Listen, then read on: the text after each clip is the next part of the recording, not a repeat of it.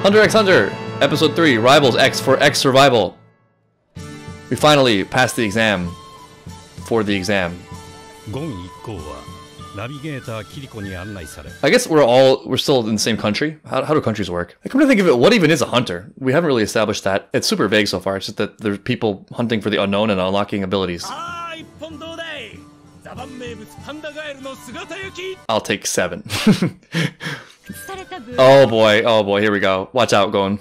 それだけ怪しいやつや荒くれ者も流れてくるうわ And he just loves it, of course. You know, the opposite is true as well. My experience, actually, people coming from prosperous cities or countries going to less prosperous places just naturally creates some weirdness due to the financial incentives. It's hard to fully explain, but something you distinctly feel. There's a couple telltale signs, like, for example, haggling is, is really prevalent, and it takes work to buy things because the vendors start at just a really inflated price to anchor it. Which, side note, actually means some people probably do buy at that price. But even after haggling, you're probably not getting local prices. Another telltale sign that can get really, really weird is the prevalence of working girls, if you know what I mean. Like, even going to a bar or club or something in places where there are a lot of relatively more financially well off tourists, it becomes less likely that it's just students and workers going out to have fun and more likely that there's an expected financial transaction. Another thing is constantly being approached for goods and services. For me personally, while it's it's interesting as a as a new experience. It's one of the downsides of traveling to certain places. It can be somewhat draining. It kind of wears on you if you're not looking for that kind of thing. Luckily, it doesn't seem like Gon has much money to be swindled out of. Not that he would be swindled, I don't know. He seems pretty focused and oriented towards his compass. Height check, architecture. I don't know. This is reminding me of Haikyuu when they were impressed by a five story hotel.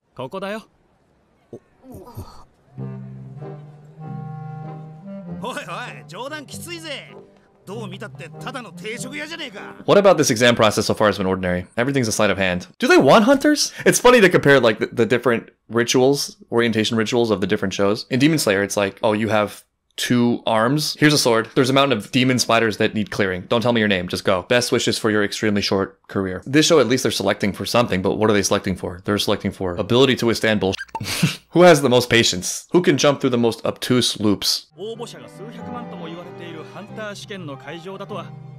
You わない you would not.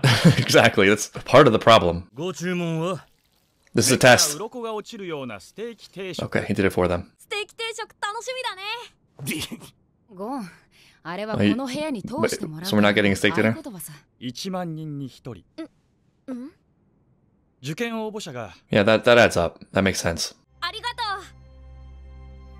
So nice. So pleasant. It's got a real attention to others. 来年も 案内してあげるよ Next year, is he expecting him to fail?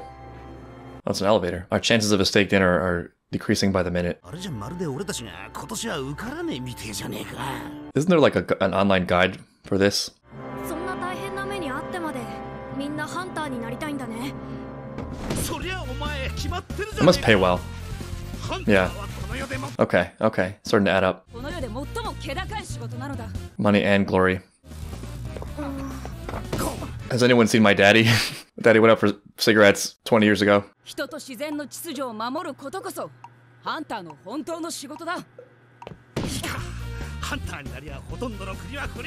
Oh, open passport. That's legit. Okay, that's cool. Can we get back to the, the money and travel? Hmm, he makes a very compelling point. mm-hmm.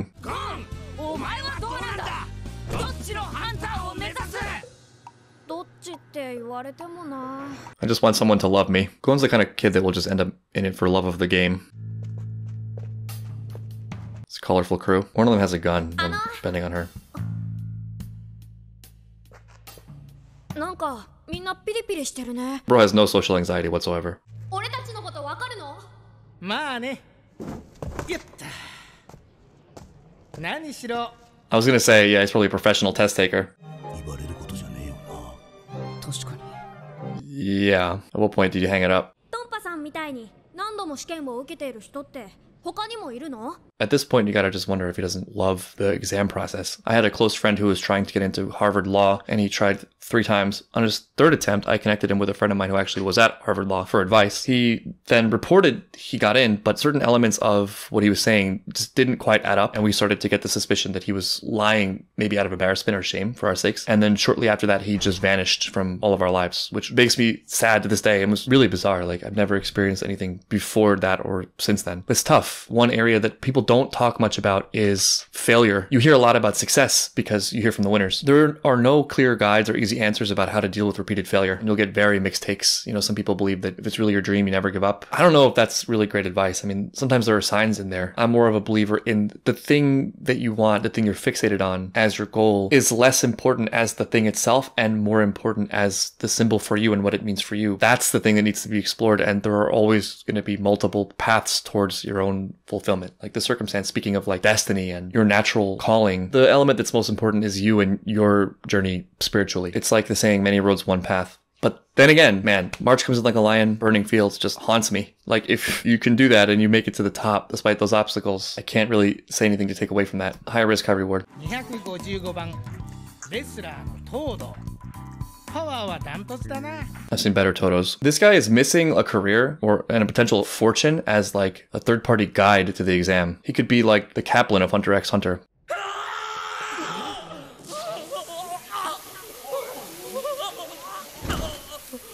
What am I looking at? Damn, he got Thanos into flowers. 腕が花びらとなって消えちゃった This can't be legal. 人にぶつかったら謝らなくちゃ You're telling me this guy passed the mother or girlfriend riddle? 合格確実と言われながら気に入らない試験官を半殺しにしたやつだそそそんなやつが Yeah, that's my 今年 question. も堂々とテストを受けられんのかよ Again, what are we testing for here? その年の試験官が合格といえば悪魔だって合格できるそれがハンター試験さ Yeah, yeah, yeah. Who's at the top? Who gets to decide? お近づきの印だどうだいおおこいつはありがたい This part of the exam. Don't trust him. Don't drink it. Nope. お前らに渡したそのジュース Of all the things he chose, he chose laxative. That's just evil. Not just a simple sleeping medication or, you know, something to make him drowsy. No, just laxative. Diarrhea. Leo, Leo. This one I got.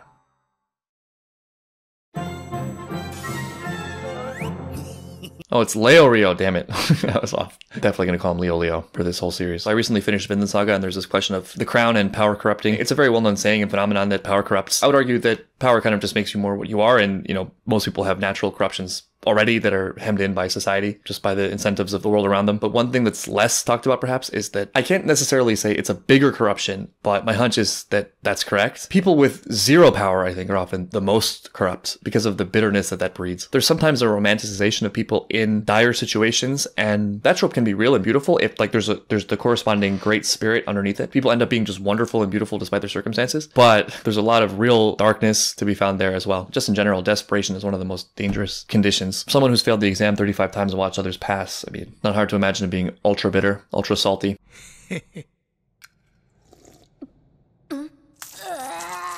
he tasted it. おかしいなバカなあの下剤はほとんど味も匂いもしないはず Gon just has otherworldly levels of senses. Like he just knows where people are. He has perfect vision, taste.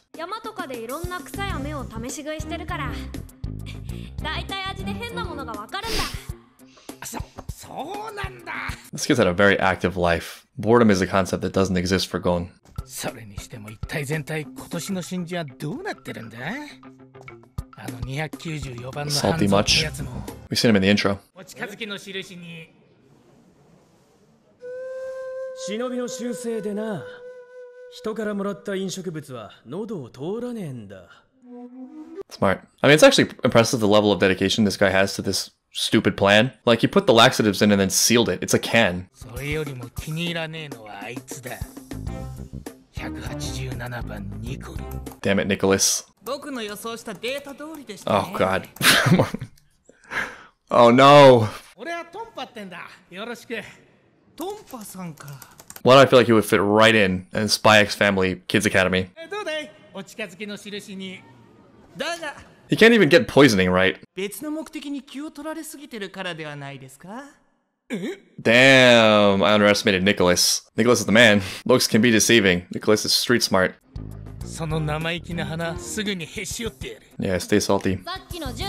Hey, it's Pockets Kid!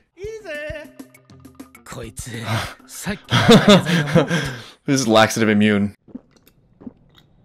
Man, he's losing the exam, he's losing this poison strategy, and he's losing a lot of money on all these laxatives, presumably. It's a total loss. He's in the red. With laxatives? Don't want to know what that process was like.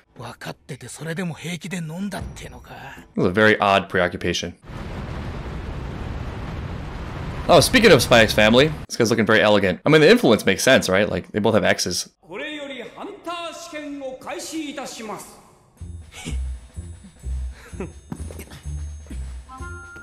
She's probably doing a physical exam at some point, I'm guessing.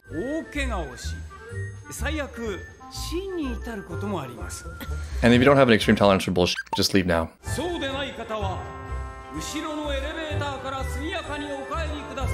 そうでない方は後ろのエレベーターから速やかにお帰りください After all the crap he went through to get here, no one is leaving. So elegant. I mean, why all the competition? Is there? There's no quota, right? It's just passing the exam. これより皆様を二次試験会場へ案内い What た happened し to ま his す mouth? 2時ってことは1時はもう始まっているのでございます I'm out. I'm out. Long distance run. I withdraw, and I'm not coming back next year. gonna get an office job somewhere. Phase one is refreshing tunnel sprints. 場所や到着時刻はお答えできませんただついてきていただきます In all seriousness, though, that's a great test, not just of physical ability, but of mental fortitude. Physical activity runs are by far the hardest when you have no end, end point, clear end point. You do a mile run, you know, you know you have the mile, you can count down. If you're just following someone with no no idea of how long you're running, man, the, the mentality gets to you. That's really hard. That's actually a really good exam. 変なテストだねさしずめ What did you expect? ってことか望むところだぜ It's endurance. どこまでもついてってやら It's also mental willpower. Yes, exactly. What data can you スタート calculate? 前に1名脱落しハンター受験者は総勢404名